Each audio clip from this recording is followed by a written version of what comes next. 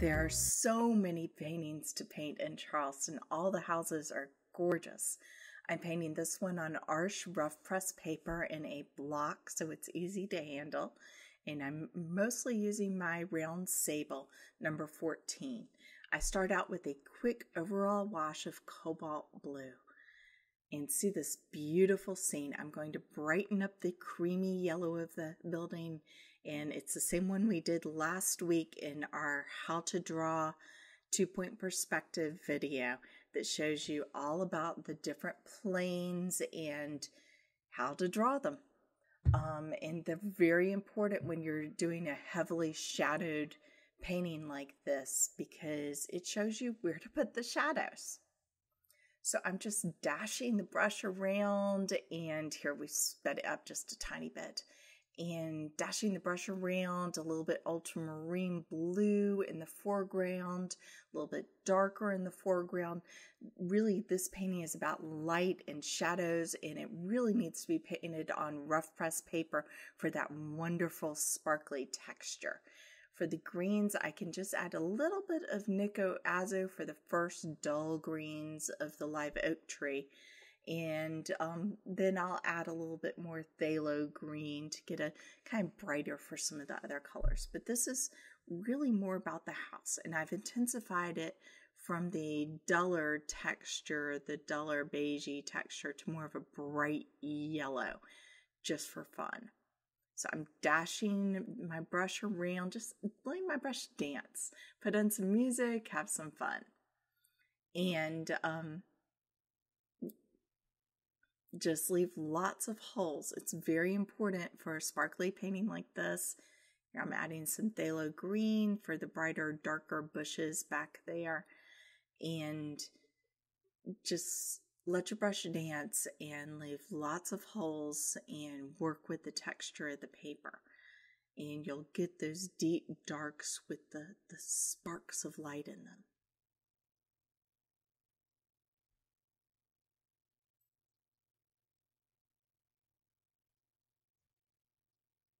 Now notice while I'm going into it, I'm not overworking it.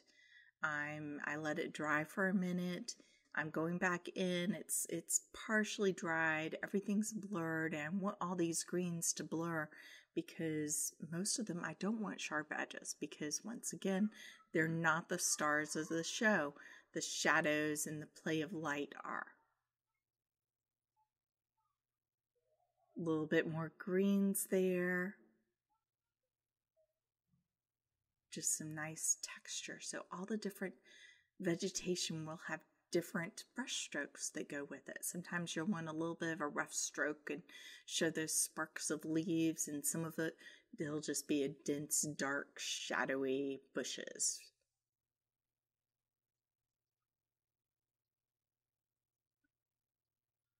Now I'm going to start this out with Azo Yellow. And it's not going to look green because I've let it dry, and that is absolutely critical. You need it to dry. I'm going to add some warmer colors on top of it so it'll be even less green, but we're not looking for a greenhouse. We're looking for a warm yellow house. So just going along in there. I want the scrubby texture that's stucco, so I'm using kind of a dry brush over that.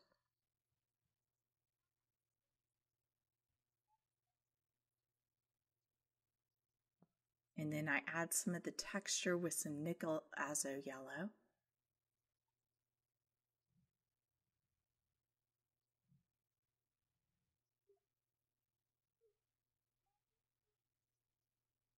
And I'm just brushing lightly over. I'm not covering the entire thing.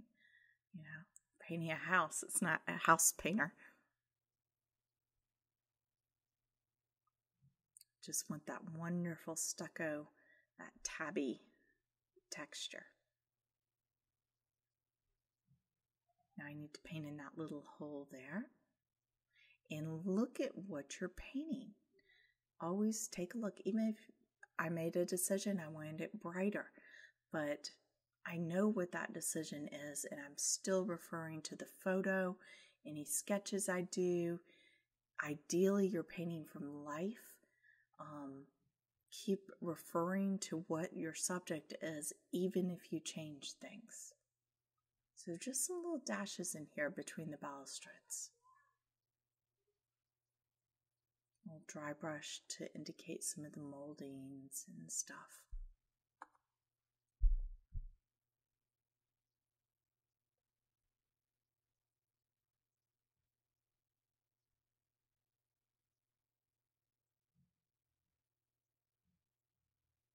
It doesn't take much just to give the idea.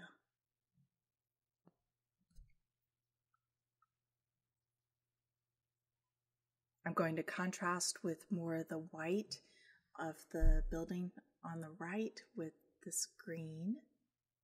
I want to really bring that out.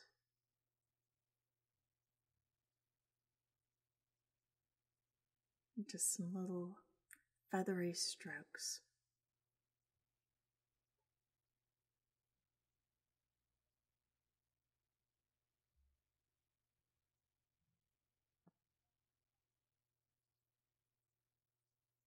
And I'm using Nickel Azo yellow, some phthalo green, a little bit of cobalt blue.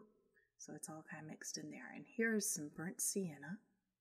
I'm just doing a nice vertical stroke. It has a little bit of a highlight on it at the top. And I don't want to cover up all the blue. Well, really, they're highlights when at that point. And then I can add a little bit of texture on there with some horizontal strokes.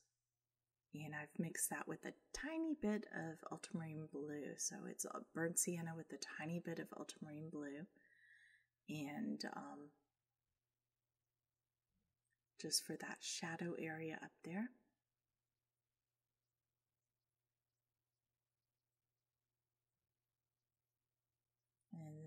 Horizontal strokes, but not covering up all the highlights.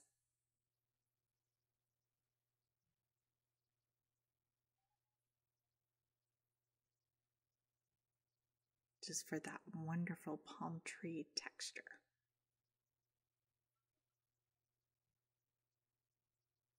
Or palmetto.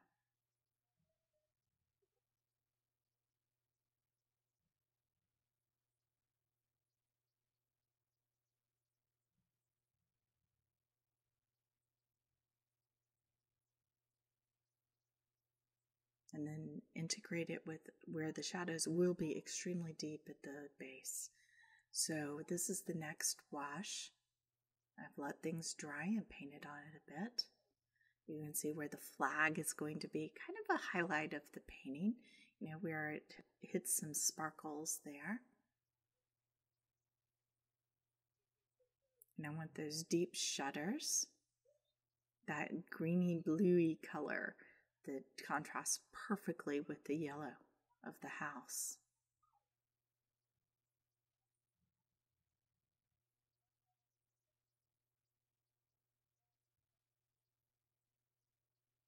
And I'm just, I want, I don't want to paint the windows like they're cutouts.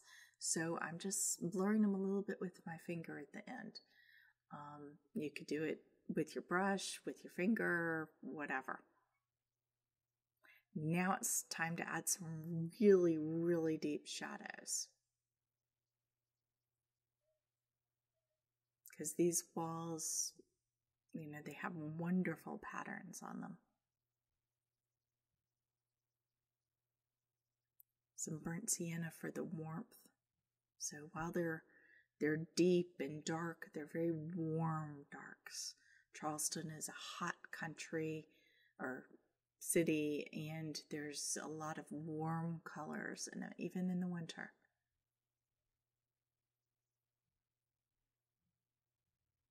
It does feel like its own little country. Wonderful. I love nothing better than wandering around Charleston. Some cobalt violet, burnt sienna, ultramarine blue. Just mix it up with the shadows. Deep, dark, and warm.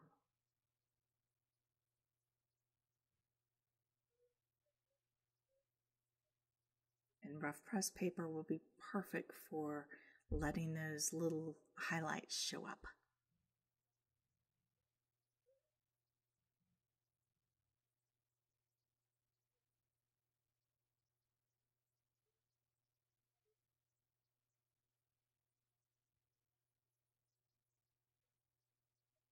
Just dashing. Play with the paint. Have some fun. Keep that brush dancing.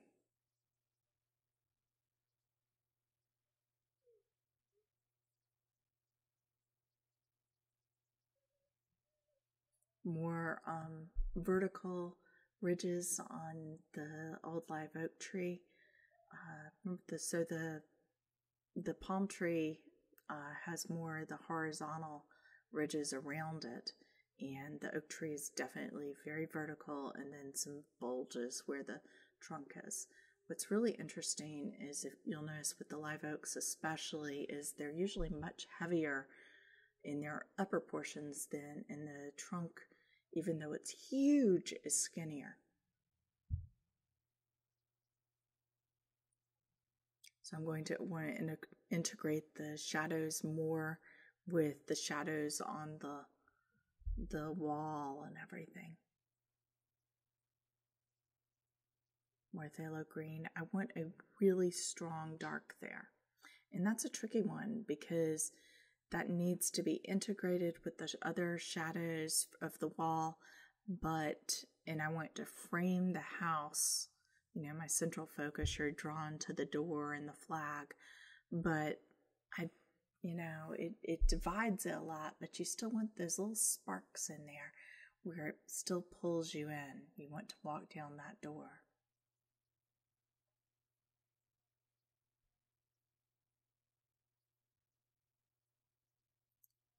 Some shadows to make the windows have a little bit of depth. They're fairly plain um, and they're just deep for the deep old stucco to keep it cool.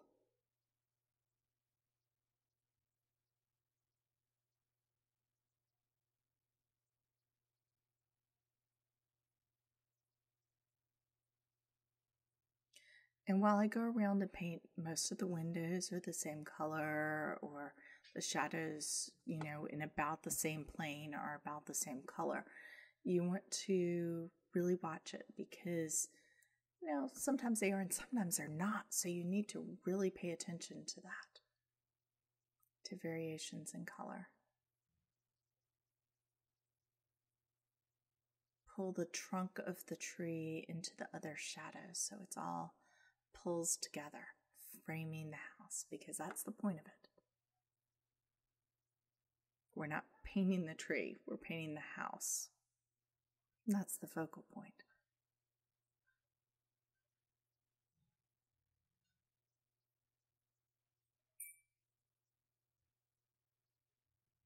So a bit more pulling those shadows together.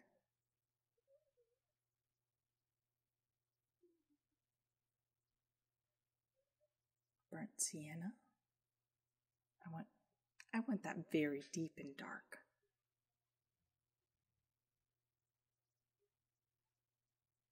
And that feels like hot sun.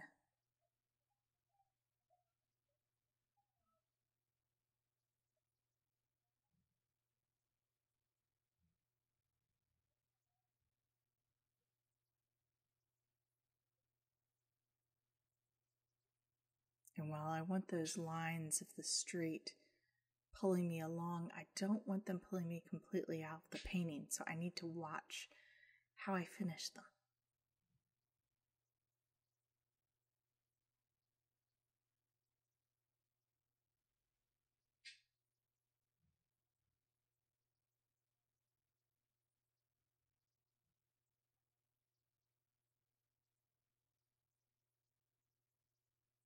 Now it's time for the really fun part.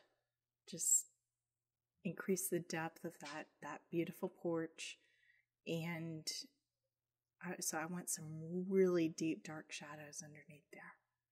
That's going to draw my center of attention to where I want it and it's also it's just a really important part of the painting to have the the high contrast right there.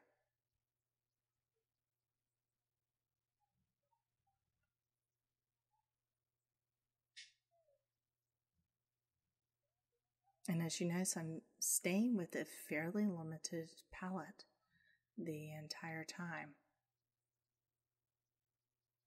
Not changing colors around I'm changing more how I use them.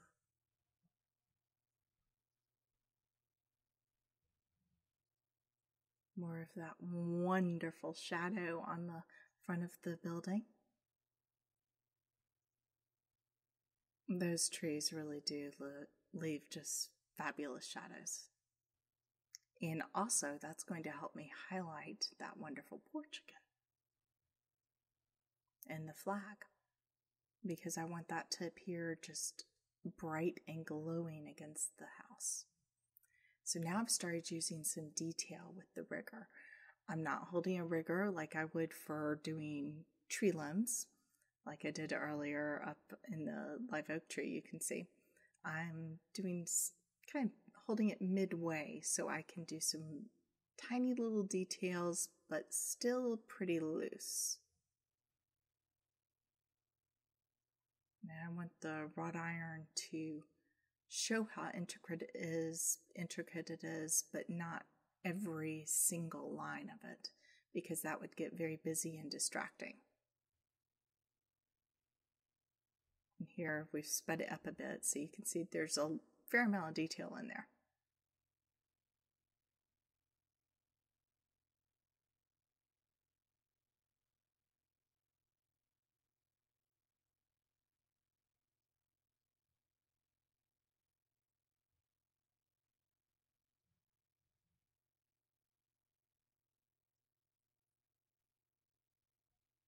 So I'm not drawing every single line. I'm drawing where um, the drawings, drawing where the lines are most important, and that includes this area at the top of the house there. I want a little bit more of the intricate moldings that they have up there, but not too much.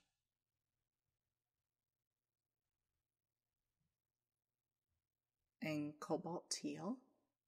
And I did use cobalt teal a little bit on the right hand building, as you can tell, as well. So use the same limited color palette all around the painting. I'm blurring some edges here.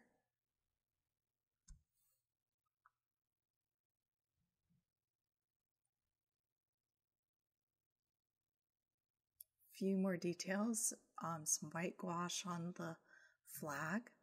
And that's, I think, the only place I use white gouache in the entire painting. So maybe a tiny bit of highlights around the oak tree. So that's very much it at the end touch. And here is the finished painting with a few more darks in there, and that's about it. So uh, thank you very much for watching and please share your paintings that hopefully this inspires you because I hope this inspires you to go and paint a beautiful old house in your neighborhood. I hope you have a wonderful time painting. I can't wait to see. Thanks for watching, and please visit my website, paintingwatercolor.com, for more information. Happy painting!